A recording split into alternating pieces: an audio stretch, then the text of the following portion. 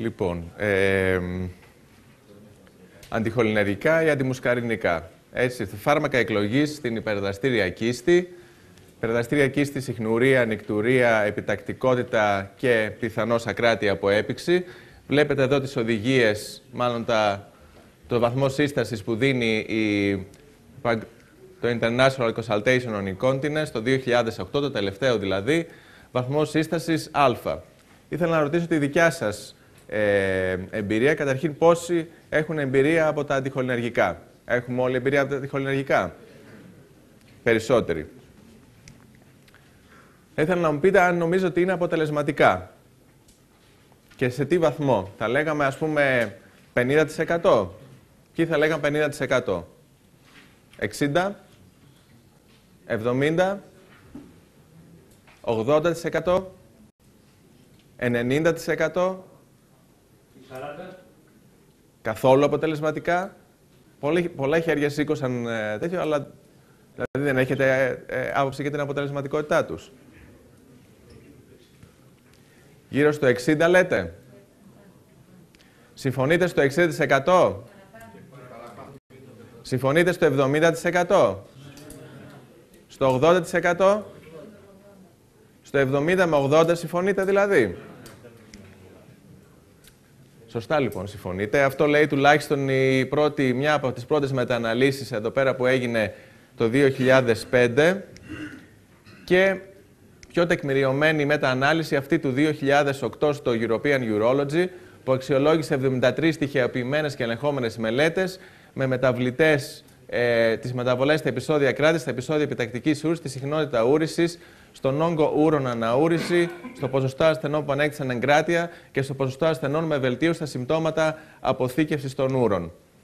Εδώ μερικά χαρακτηριστικά. Οι περισσότερες μελέτες, όπως βλέπετε εδώ πάνω, ήταν στους τρεις μήνες. Ο αριθμός των ασθενών ήταν από 30 μέχρι 1500 σε κάθε μελέτη, με μια μέση ηλικία 58 ε, έτη. Και συμπεραίνουν λοιπόν αυτός ο πίνακας ο μεγάλος από εδώ κάτω, λέει ότι ουσιαστικά τα αντιχολινεργικά είναι τουλάχιστον στατιστικά σημαντικά αποτελεσματικότερα από το εικονικό φάρμακο σε όλες τις παραμέτρους. Η άποψή σας ποια είναι, Είναι όλα τα αντιχολινεργικά το ίδιο αποτελεσματικά σε κάθε ασθενή; Δηλαδή, αν δίναμε ξέρω εγώ, το ίδιο, ε, δύο-τρία διαφορετικά φάρμακα στον ίδιο ασθενή, θα είχαν την ίδια αποτελεσματικότητα; Ή αν δίναμε ε, το ίδιο φάρμακο σε διαφορετικούς ασθενείς θα είχε πάλι την ίδια αποτελεσματικότητα. Λοιπόν, να δούμε τι λέει η ίδια μεταανάλυση παρακάτω. Λέει δεν υπήρχαν διαφορές στο ποσοστό ασθενών που ανέκτησαν εγκράτεια μεταξύ των ε, διαφόρων αντιχολενεργικών. Αν λοιπόν έχουμε ασθενείς με ακράτεια ούρων, αυτοί εδώ πέρα μας λένε ότι ε, είναι το ίδιο αποτελεσματική σε σε, στους ασθενείς με ακράτεια. Όλα τα αντιχολενεργικά είναι το ίδιο αποτελεσματικά συγκρινόμενα τουλάχιστον μεταξύ τους, εφόσον υπάρχουν βέβαια συγκριτικές μελέτες. Λοιπόν, που δεν υπάρχουν και πολλές συγκριτικές μελέτες είναι το πρόβλημα. Στη μείωση των επεισοδίων ακράτειας. Αυτοί τώρα αναλύοντας αποτελέσματα βρήκανε ότι τα αποτελέσματα της φεσοτεροδίνης ήταν καλύτερα από αυτά της τολτεροδίνης. Στη μείωση των αριθμών των ουρήσεων ήταν πάλι εξίσου αποτελεσματικά με εξαίρεση της σολιφενακίνη. Καταρχήν ξέρουμε για ποια φάρμακα μιλάμε. Φεσοτεροδίνη είναι το Tovias, έτσι. Σολιφενακίνη είναι το Vesiker, δαριφενακίνη είναι το Emselex, ε, οξυβουτινίνη είναι το Ditropan και το Kentera το αυτοκόλλητο. Ε, προπιβερίνη είναι το ε, Mictonorm, τρόσπιο είναι το Urivesk. Δεν ξέρω αν ξέχασα κάποιο. Και το Λτεροδίνη, συγγνώμη, είναι το Tetruzitol. Λοιπόν, αυτοί λοιπόν με βάση τα αποτελέσματα είδαν ότι, ε, ε ότι η σολιφενακίνη ε, των 10 mg είναι πιο αποτελεσματική, μάλλον έχει καλύτερα αποτελέσματα σε σχέση με τη σολιφενακίνη των 5 mg και την οτεροδίνη των 4 mg. Όσον αφορά τη μείωση των επεισοδίων επιτακτικής ούρησης, όλα είναι λίγο πολύ εξίσου αποτελεσματικά, με εξαίρεση τη σολιφενακίνη 10 mg και σολιφενακίνη 5 mg έναντι της οτεροδίνης 4 mg και τη σολιφενακίνη 10 mg έναντι προπιβαρίνη 20 mg.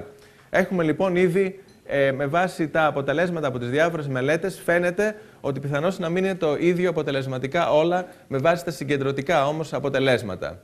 Όσον αφορά το μέσα αποβαλλόμενο όγκο ούρων, και εδώ βλέπετε πάλι αρκετές διαφορές, σολιφενακίνη με, ε, στις διάφορες δόσεις, με, με την ολτεροδίνη, με την προπιβερίνη, η οξυβουτινίνη με την ε, τολτεροδίνη, η φεσοτεροδίνη με την τολτεροδίνη.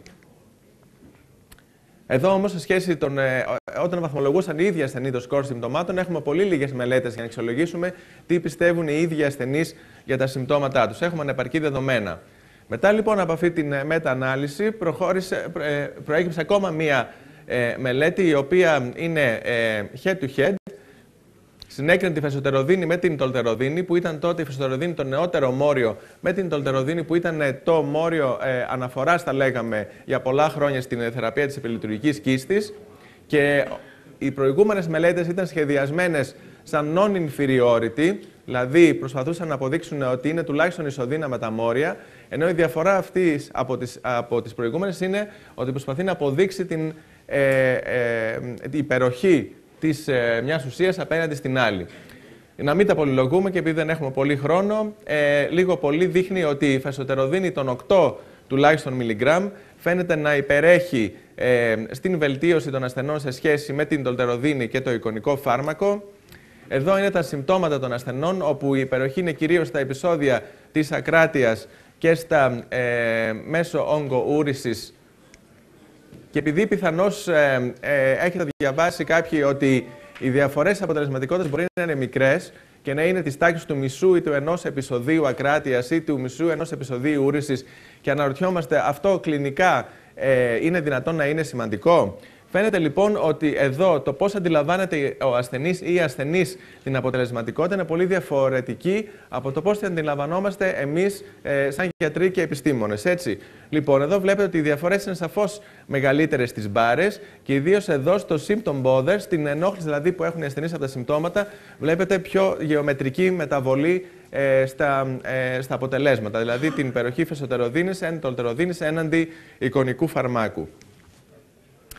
Εδώ τώρα πάλι μια άλλη μελέτη, η οποία, η οποία συνέκρινε ασθενείς με υπερδαστήρια κίστη που είχαν ακράτεια με αυτούς που δεν είχαν ακράτεια. Αυτοί λοιπόν δώσανε το τεροδίνη σε 3.400 ασθενείς και συνέκριναν τα βασικά συμπτώματα, δηλαδή την ε, συχνουρία, την επιτακτικότητα ούρσης, που είναι το κύριο σύμπτωμα της υπερδαστήριας κίστης, και την ε, νικτουρία σε αυτούς τους ασθενείς. Όχι βέβαια την ακράτεια και δεν μπορούσαν να συγκριθούν οι δύο ομάδες. Και φάνηκε λοιπόν, βλέπετε πόσο παρόμοιες είναι οι μεταβολές και στις δύο ομάδες των ε, ασθενών αυτών. Όμως, όταν λέμε αποτέλεσμα, δεν μιλάμε μόνο για την βελτίωση των συμπτωμάτων. Το αποτέλεσμα αφορά, όπως ακούσατε προηγουμένως, και άλλους παράγοντες, όπως οι ανεπιθύμητες ενέργειες και η ανεκτικότητα του φαρμάκου από τον ασθενή. Και ας δούμε τι γίνεται σε αυτό το θέμα. Λοιπόν, εδώ η ίδια μετα-ανάλυση μας δείχνει ότι λίγο πολύ καταμετράει τα, ε, τις ανεπιθύμητες ενέργειες από τη χρήση όλων των αντιχολινερικών που έχουν χρησιμοποιηθεί στις διάφορες μελέτες. Και βλέπετε ότι όλα λίγο πολύ έχουν ανεπιθύμητες ενέργειες. Όσο πιο πολύ εδώ είμαστε, αυτό σημαίνει ότι είναι υπέρ του εικονικού φαρμάκου, όσο είμαστε από αυτή την πλευρά, σημαίνει ότι είμαστε υπέρ της ενεργού θεραπείας. Δηλαδή αυτό σημαίνει βασικά ότι όλα σχεδόν έχουν ε, ανεπιθύμητες ενέργειες σε πολύ ψηλότερο βαθμό, σε αρκετά ψηλότερο βαθμό μάλλον, ε, σε σχέση με το εικονικό φάρμακο. Ωστόσο, βλέπετε εδώ πέρα, αυτή είναι η διαφορά ότι οι ασθενείς που βγήκαν από τη θεραπεία, ανεξάρτητα αιτιολογίας, έτσι συμπεριλαμβάνουν όμως και των ανεπιθύμητων ενεργειών, ε, δεν, ήταν το ίδιο, ε, το, ε, δεν ήταν το ίδιο εντυπωσιακά όσο τα προηγούμενα αποτελέσματα. Βλέπετε ότι η μόνη ε, ουσία η οποία φαίνεται ότι ε, μπορεί να απομακρύνει τους ασθενείς από τη θεραπεία, η χρήση της είναι η οξυβουτινίνη. Αυτή μόνο είχε στατιστικά σημαντικές ε, διαφορές. Και το θέμα είναι κατά πόσο σχετίζονται όλα αυτά με το μηχανισμό δράσης των αντιχολυνεργικών, τον οποίο το θεωρούμε ίσως λίγο πολύ δεδομένο. Ξέρουμε ή μάλλον μαθαίνουμε και τα περισσότερα αντιχολυνερικά δοκιμάζονται σε ζωάκια πρώτα και δοκιμάζονται στον εξωστήρα των ζώων αυτών, γιατί ξέραμε μέχρι πρόσφατα ότι η μουσκαρινική υποδοχή βασικά είναι στον εξωστήρα και ότι ο κύριος υποδοχέας για τη σύσπαση της κίστης είναι ο, τύπ, ο μη 3, έτσι, ο μουσκαρινικός υποδοχέας τύπου μη 3. Έχουμε πέντε τύπους μουσκαρινικών υποδοχέων, μη 1 έως μη 5. Λοιπόν, εδώ λοιπόν ήρθε μία ε, μελέτη, η οποία έγινε για πρώτη φορά σε άνθρωπο και η οποία έδειξε τώρα ότι Βέβαια, ξέρουμε ότι για να ενεργοποιηθεί ο μουσκαρινικό υποδοχέας, πρέπει να απελευθερωθεί η ακετυλοχολίνη. Αυτή διεγείρει το μουσκαρινικό υποδοχέα, έτσι, η ακετυλοχολίνη και γι' αυτό λέγονται και αντιχολινεργικά. Επίσης και όπως και αντιμουσκαρινικά. Δρούνε λοιπόν μπλοκάροντας τους μουσκαρινικού υποδοχή, τη σύνδεση ακετυλοχολίνη στους μουσκαρινικού υποδοχή. Λοιπόν, η ακετυλοχολίνη λοιπόν δεν παράγεται μόνο σε. Δεν απελευθερώνεται μόνο σε επίπεδο νευρομυϊκής σύναψης εδώ στον εξωστήρα, αλλά φαίνεται ότι όσο διατείνεται η ουροδόχος κίστη με ούρα, τόσο παράγεται ακετυλοχολίνη από το ουροθήλιο, η οποία απελευθερώνεται εδώ προς τα μέσα, όπως επίσης και προς τα ούρα, αλλά και προς τα μέσα, δηλαδή στο χώριο, στον υποβλεναγόνιο ε, χώρο και προς τον εξωστήρα βέβαια. Το πιο ενδιαφέρον βέβαια είναι πλέον ότι και οι πέντε τύποι των μουσκαρινικών υποδοχέων έχουν ανακαλυφθεί στην ανθρώπινη ουροδόχο κίστη και σε μεγαλύτερη ε, πυκνότητα αυτοί οι τρεις. Μη ένα, μη δύο και μη τρία, στους οποίους και θα επικεντρωθώ κυρίως, γιατί για αυτούς ίσως είναι και, γνωρίζουμε και λίγα περισσότερα πράγματα για το μηχανισμό δράσης τους. Λοιπόν, από αυτούς ο μη τρία, ο μη δύο υπερτερεί απέναντι στον μη τρία όσον αφορά σε, σε πυκνότητα. Φαίνεται όμως ότι ο κύριος ε, ρόλος ε, στην σύσπαση του εξωστήρα είναι αφορά τον μη 3, παρά το ότι είναι μικρότερη σε αριθμό υποδοχής αυτή στην ουροδόχο κίστη. Λοιπόν, αυτή λοιπόν ε, ο μη 2, θα το πούμε λίγο και παρακάτω, έχει διαφορετικό ρόλο, μη 1 έχει διαφορετικό ρόλο. Άρα έχουμε πέντε υποδοχείς με διαφορετικούς ρόλους και έχουμε την ακετυλοχολίνη η οποία απελευθερώνεται από το ορθίλιο και εδώ πέρα από τα νεύρα στον υποβλενογόνιο χιτώνα και η οποία μπορεί να δράσει σε όλες αυτές τις κατευθύνσεις και όχι μόνο στον εξωστήρα μη της κίστης. Και θα ήθελα να ρωτήσω ποια είναι η εμπειρία σας από τα αντιχολυνεργικά. Μειώνουν τη συχνουρία; Ναι. Μειώνουν την νυχτουρία. Ναι. Μειώνουν τα επεισόδια κράτειας. Ναι. Αυξάνουν τη χωρητικότητα της κίστης. Ναι. Αυξάνουν το υπολοιπόμενο.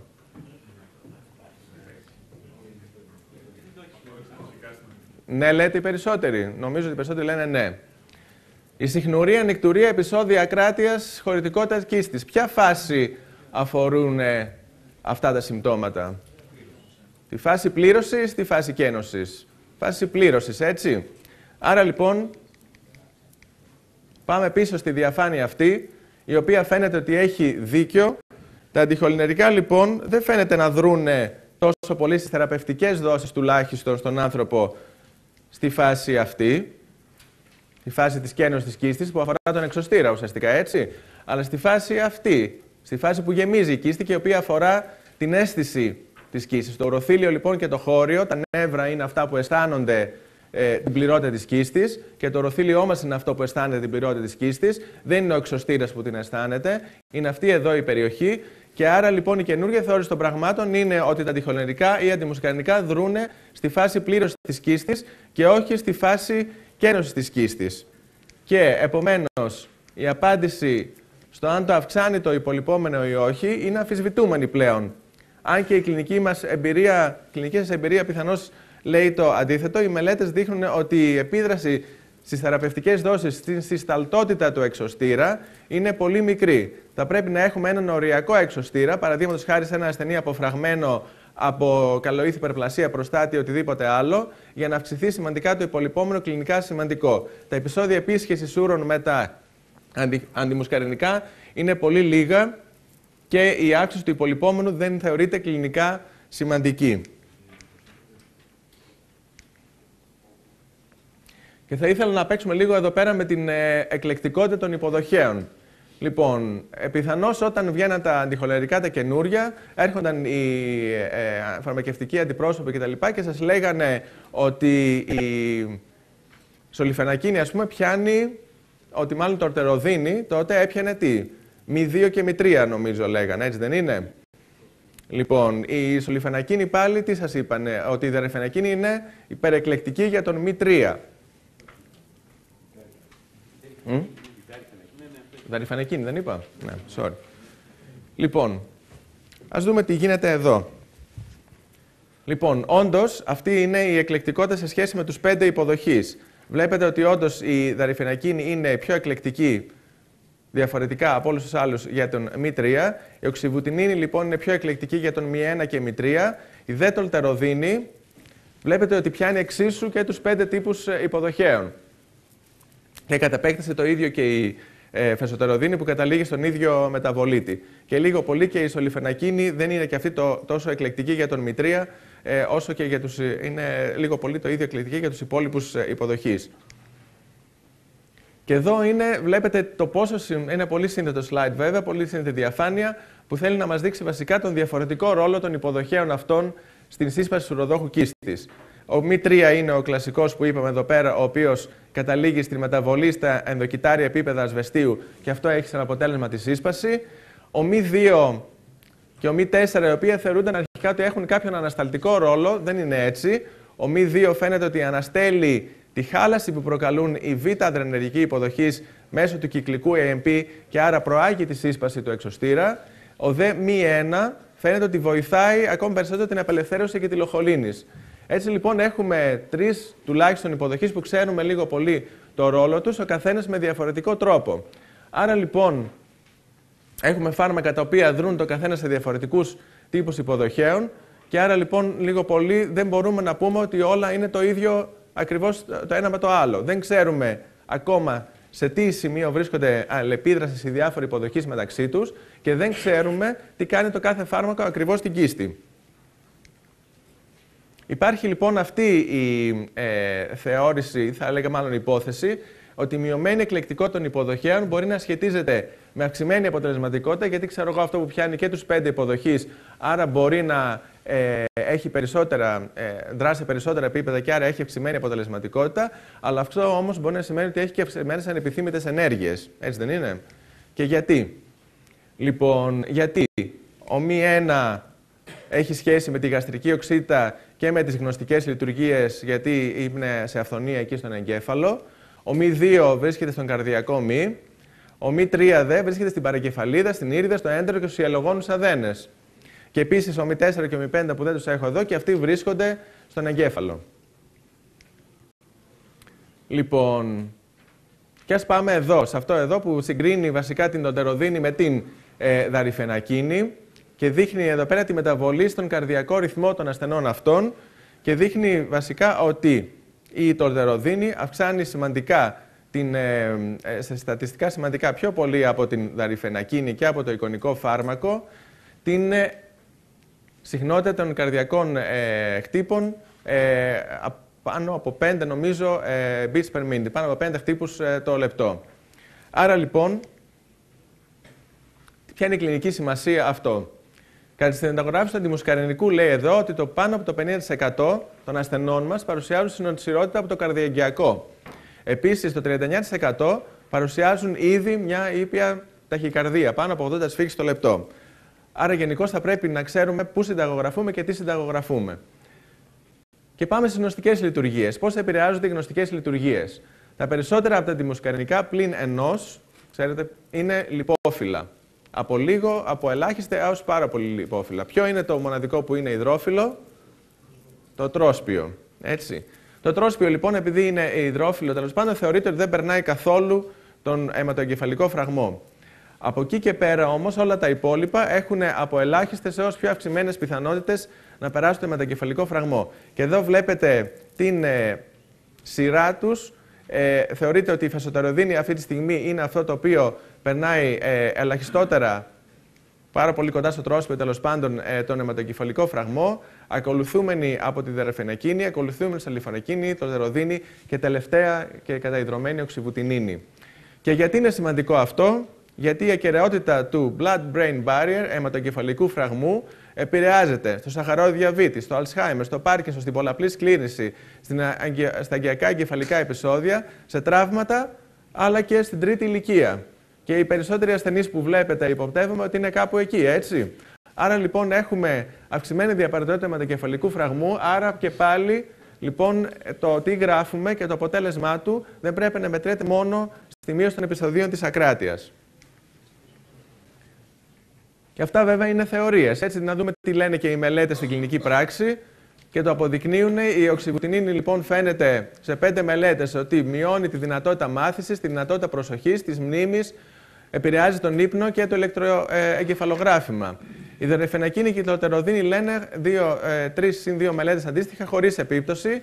Το τρόσπιο επίσης λέει χωρίς επίπτωση, δύο μόνο μελέτες αλλά απουσία δεδομένων για την μνήμη.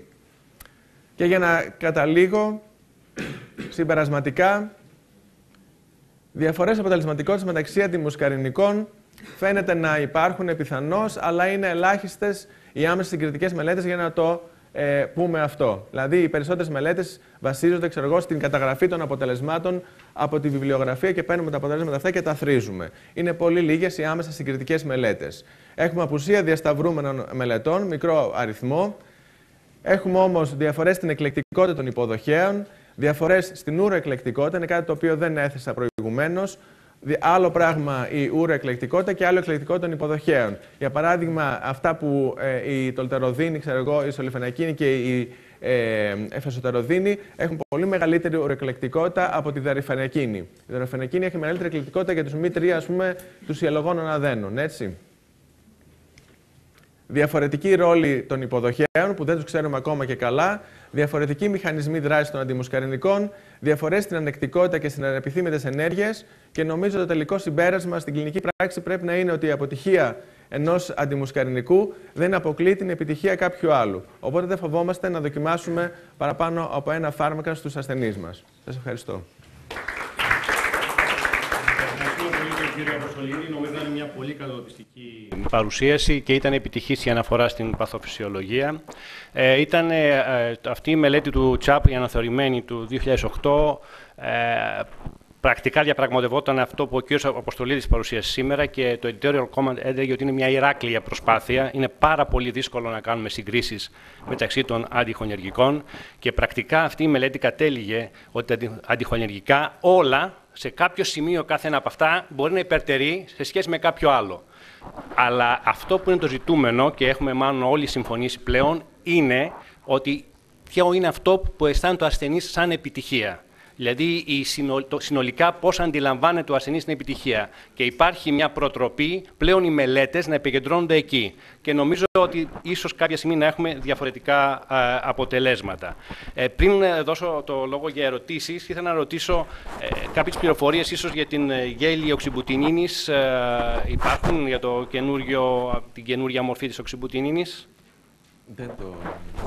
Έχει, βγει, έχει κυκλοφορήσει στην Αμερική σε γέλιο οξυμπουτινίνη που θεωρείται ότι ξεπερνάει το πρόβλημα των αντιδράσεων στο δέρμα, αλλά υποθέτω ότι το πρόβλημα που έχει με τις γνωστικές διαταραχές και τα υπόλοιπα δεν θα ξεπεραστεί. Θα είναι... Η γέλη αυτή που τοποθετείται. Δεν Κανονικά, όπως το έτσι, το, το αλήθεις και... Ναι, άρα απορροφάτε... Δεν, δεν δημιουργεί πρόβλημα. Ναι, άρα απορροφάτε συστηματικά. Ναι, ναι, ναι, ναι, βέβαια. Γιατί θα έχει πάλι μάλλον τα, όλες τις ναι, παρενέργειες οξυμπουτίνης. Κάποια ερώτηση παρακαλώ από το ακροατήριο; Ε, έχω μια πορεία. Είπαμε ότι δρούν στη φάση πλήρωσης. Ε, όταν τα δίνουμε σε έντονα νευρογενείς κίστης, όπως στην όσο Πάρκινσον ή στη σκλήρηση κατά πλάκας, από τη δικιά μου τουλάχιστον εμπειρία, πιάνουν καλύτερα σε, αυτές τις, σε αυτά τα περιστατικά οι αρκετές δόσεις. Δηλαδή, έχω δώσει σε ασθενή και πέντε φορές το 24ωρο. Ε, Αυτό είναι υπερδοσολογία. Ναι, είναι υπερδοσολογία έτσι, ε, κάπου από μόνος του, κάπου από μόνος του το, το ρήθ, ε, και ο ίδιος ο ασθενής ναι. δηλαδή. Να σας πω τι λέει η βιβλιογραφία. Αυτή σε στιγμή, σκλήρεση κατά πλάκα έντονη. Σκλήρεση κατά πλάκα. Εκεί τον έπιασε όμως. Ναι, υπάρχουν τρεις ε, μελέτες οι οποίες είτε κάνουν υπερδοσολογία, είτε δίνουν δύο μαζί διαφορετικά αντιχολυνετικά και λένε για πιθανή βελτίωση αποτελεσματικότητας με τις ίδιες ανεπιθύμητες ενέργειες. Ωστόσο, ξέρετε ότι κάτι τέτοιο δεν είναι εγκεκριμένο, έτσι, και αν το κάνετε, ε, ρισκάρετε κι εσείς οι ίδιοι. Αν το κάνουν οι ασθενείς από μόνοι τους, αυτό είναι άλλο θέμα βέβαια. Αλλά... Οι ασθενείς αυτοί είναι πάρα πολύ ταλαιπωρημένοι και κάνουν από μόνοι τους ε, ναι, εκείνο για που την αποτελεσματικότητα. Να ιδιαίτερα στους νευρολογικούς ασθενείς είναι από πριν η ύπαρξη πολυπόμενου μεταούρηση που είναι πολύ συχνή σε αυτούς λόγω διαταραχής στην ουρηθροκιστική μονάδα, επειδή έχουμε πολύ συχνά τη συνέργεια του έξω σφιγκτήρα ή του αφιένα της σκήση κτλ. Και, και έχουν από την αρχή πολυπόμενο. ε, ή ε, μπορεί πολύ πιο εύκολα να αναπτύξουν υπολοιπόμενο από τους άλλους ακριβώς λόγω της ε, διαταραχής στη σταλτότητα του εξωστήρα ή της διαταραχής στη συνέργεια πάλι του σφιχτηριακού μηχανισμού. Οπότε σε αυτούς ε, θα έλεγα ότι η παρακολούθηση για υπολοιπόμενο θα πρέπει να είναι πολύ πιο επισταμένη και θα πρέπει να έχουμε πάντα υπόψη μας ότι ο συνδυασμός διαλυπώντων καθετηριασμών με αντιμουσκαρινικό είναι κατά στις περισσότερες περιπτώσεις αυτών η θεραπεία εκλογής και όχι σκέτο ε, αντιμουσκαρινικό. αυτός που είπε δίκιο. Δηλαδή ξεχωριστά από το τι είναι ο νόμος, ε, όλοι νομίζω που ασχολούνται με ασθενείς με νευροπαθή κίστη ξέρουν ότι πραγματικά η υπερδοσολογία είναι πολύ πιο καλά ανεκτή από αυτά τα άτομα και ότι έχει και αποτέλεσμα και η βιβλιογραφία του υποστηρίζει αυτό. Αλλά σαφώς είναι κάτι που είναι ε, τυπικά παράνομο. Έτσι. Δεν, και, δεν είμαστε καλοί. Πλέον από ό,τι είδατε πρέπει να προσέχετε πολύ και τις γνωστικές ε, λειτουργίες αυτά τα άτομα. Έτσι. Δηλαδή αυξάνουμε πολύ περισσότερο την πιθανότητα να επηρεαστούν και οι γνωστικές τους λειτουργίες. Τα παλιά φάρμακα, η οξυμπουτίνη, είναι διαπιστωμένο ότι προκαλεί σε βάθος χρόνου προβλήματα γνωστικά. Παρακαλώ. Ε, σχετικά με το... Μου έκανε πολύ εντύπωση αυτό που αναφέρατε ότι τα αντιμουσκαρινικά δεν ε, επιδρούν ουσιαστικά στην αύξηση του υπόλοιπου ούρων. Ε, αν έχουμε ένα ασθενή που πολύ συχνά συμβαίνει με γνωστή ε, καλοήθη υπερπλασία, με υποκιστικό κόλλημα, ο οποίος όμως έχει σαφέστατα και ρεθιστικά φαινόμενα από προφανώς επακόλουθη υπερδραστηριότητα του εξωστήρα. Ε, μπορούμε δηλαδή με ασφάλεια, ξέρουμε ότι έχει υπόλοιπο ουρούν, μπορούμε με ασφάλεια να συγχορηγήσουμε με αλφα blockers ε, αντιχολινεργικά. Αν έχετε ήδη αυξημένο υπόλοιπο ουρούν, θα δεν είσαστε τόσο ασφαλείς ε, προφανώς από την αρχή. Όπως επίσης και από τη στιγμή που έχετε απόφραξη, πάλι θα είσαστε ε, λίγο περισσότερο προσεκτικοί. Αυτό δεν σημαίνει ότι δεν πρέπει να το χορηγήσετε. Αν έχετε μια ροή τουλάχιστον, ε, νομίζω, 10, ε, ε, τι λέτε κύριε Αθανασόπουλε, σε μια ε, χωρητικότητα εκεί στις, ε, γύρω στα 150, ξέρω εγώ, και με πολύ μικρό υπολοιπόμενο, νομίζω ότι είσαστε ασφαλείς να το χορηγήσετε. Μπορούμε να απαντήσουμε με δύο τρόπους. Λόγω της ενασχολησής μου με το αντικείμενο, μια και από μένα ξεκίνησε η ιστορία και μερικές φορές νιώθω ενοχές, ε, θεωρώ ότι η απάντηση είναι για συγκεκριμένα περιστατικά δεν μπορούμε να απαντήσουμε.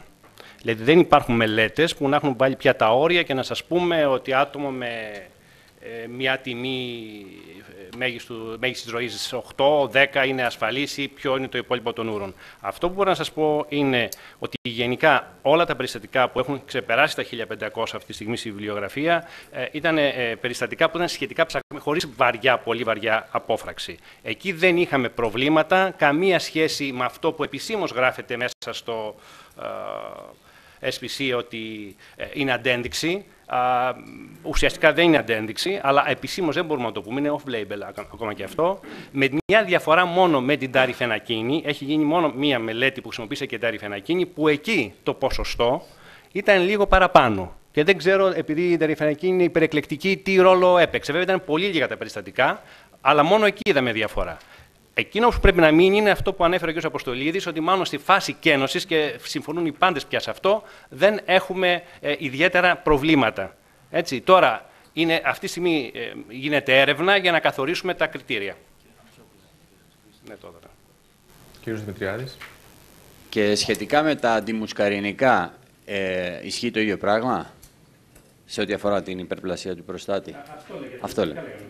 Ε, θα ήθελα να πω ε, ότι σε μία πρόσφατη μελέτη που άφησα πίσω στην Ιαπωνία ερχόμενος εδώ πέρα, κάναμε ακριβώς αυτό το πράγμα, δηλαδή κάναμε organ baths σε ε, κομμάτια προς, ε, ιστοτεμάχια προστάτης αρουραίο και είδαμε ακριβώς αυτό, ότι όχι μόνο δεν έχει αρνητικά αποτελέσματα η προσθήκη αντιμουσκαρινικών, αλλά έχει και ευεργετικά. Και σκέφτονται τώρα στην Ιαπωνία να το συνθέσουν στο ίδιο φάρμακο, με ένα χάπι να είναι και το ένα και το άλλο μαζί. Ήδη ε, έχουν γίνει μελέτες μόνο με αντιχωνιαργικά. Οι πρώτες μελέτες δείξαν ευεργετική δράση, τα επόμενα δεν έδειξαν ευεργετική δράση, αλλά ούτε και κακή δράση. Και έχουμε παραμείνει στη συγχορήγηση ότι από ό,τι φαίνεται στα περιστατικά που υπάρχουν και στοιχεία ρεθιστικά, ότι προσφέρουν βελτίωση στην ποιότητα ζωής. Και ήδη βγαίνουν, θα κυκλοφορήσουν τα πρώτα φάρμακα που είναι συνδυασμοί αντιχολινεργικών με, με αλφα-μπλόκερ. Όσο και δαμψουλοσύνη. Νομίζω πρέπει να σταματήσουμε, έχει περάσει πολύ η ώρα.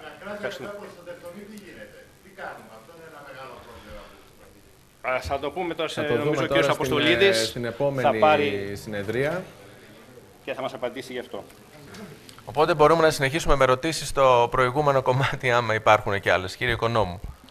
Ε, αναφέρατε προηγουμένως τις έντονες, τα υψηλά ποσοστά διαταραχών προσοχής, μαθησιακές, γνωσιστικές διαταραχές από την οξυγουτινίνη. Το θέμα είναι όμως ότι πολύ συχνά δίνουμε οξυγουτινίνη στα παιδιά. Αυτά ε, δεν είπα ότι είναι πολύ υψηλά ποσοστά. Ναι, Είπα- τέλος Αυτές πάντων, είναι όλες σε σύγκριση μελέτες με τα άλλα. συγκρινόμενες με εικονικό φάρμακο κατά κανόνα είναι οι περισσότερες και δείχνουν ότι είναι περισσότερο από το εικονικό φάρμακο, άρα ότι είναι υπαρκτές αυτές οι Έστω αυτές τις μεταβολές. υπαρκτές. Υπάρχει κάτι άλλο; Για... Ναι.